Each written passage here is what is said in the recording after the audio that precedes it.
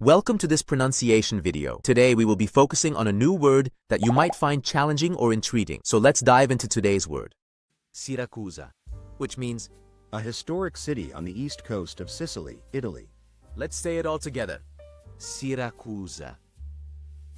Siracusa. Siracusa. One more time. Siracusa. Siracusa. Siracusa. Thank you for joining us on this adventure in pronunciation. Remember, language is a journey, not a destination. Keep exploring, experimenting, and expanding your linguistic horizons. We'll see you next time.